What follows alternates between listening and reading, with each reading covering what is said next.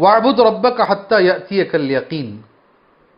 वाबुद रब का हत्ता यती कल यकीन। इबादत करो अपने रब की, उस वक्त तक, जब तक कि तुम्हें यकीन ना आ जाए।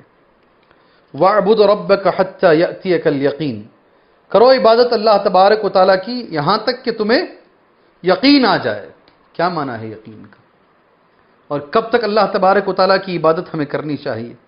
कौल इमाम बुखारी रहमल्ला इमाम बुखारी रहमल्ला इसका माना बयान करते हुए कहते हैं, कौल सालिम अलमौत सालिम बिन अब्दुल्ला बिन उमर का यह कहना है, यहाँ पर यकीन से मुराद कुरानी मजीद की इस आयत में इससे मुराद मौत है, यानी आदमी को मौत तक इबादत करनी चाहिए।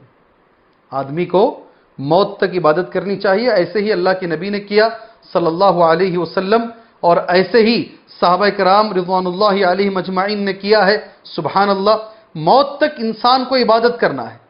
और यकीन का माना मौत का है।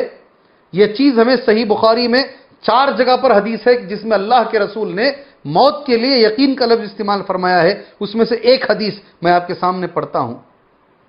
उम्मुल आला, एक औरत है रज़ी अल्लाह तहा इमरातुम मिनल अंसार, एक अंसारी औरत है।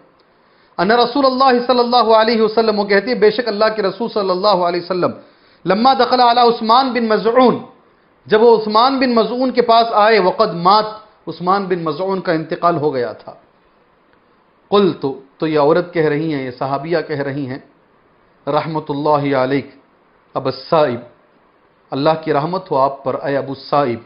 फशहादत अली का लकद अक्रम अकल्ला मैं गवाही देती हूँ आप पर कि अल्लाह ने आपको इज़्ज़त दी है, आपको इज़्ज़त की जगह पर रखा है।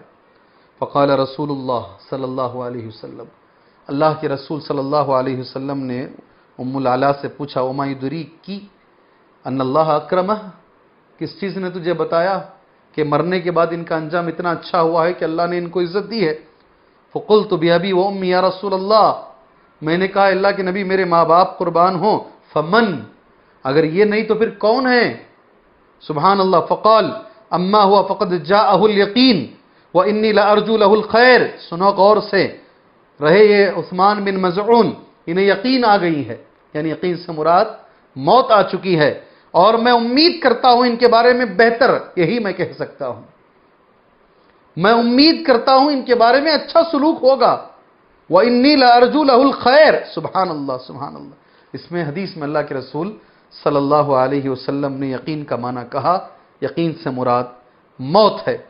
सही बुखारी में एक दूसरी हदीस भी है, इसी आयत करीमा से, वाबुद रब का हत्ता कल यकीन इस आयत करीमा से यह भी दलील लेते हैं उलमा कराम अनल इबाद कसला व नहविहा वाजिबतन इंसान मदम आकुल साबित.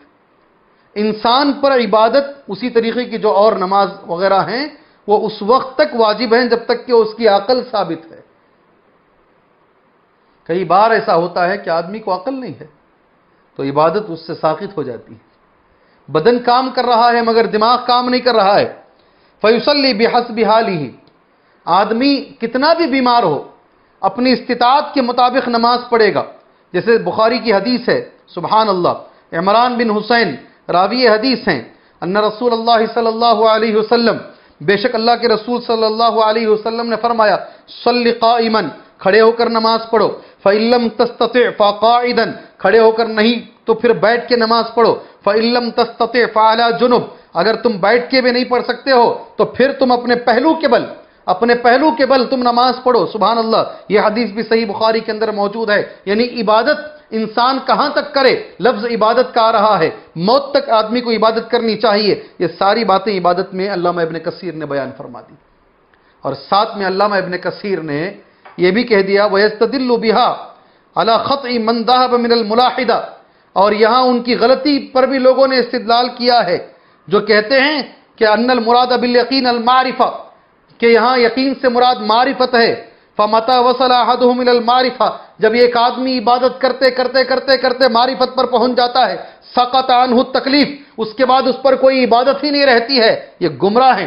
कहते हैं इमन कसीर हादा कुफर, वो जलाल वो जहल, ये कुफर है, ये गुमराही है और ये जिहालत है। अल्लाह अकबर।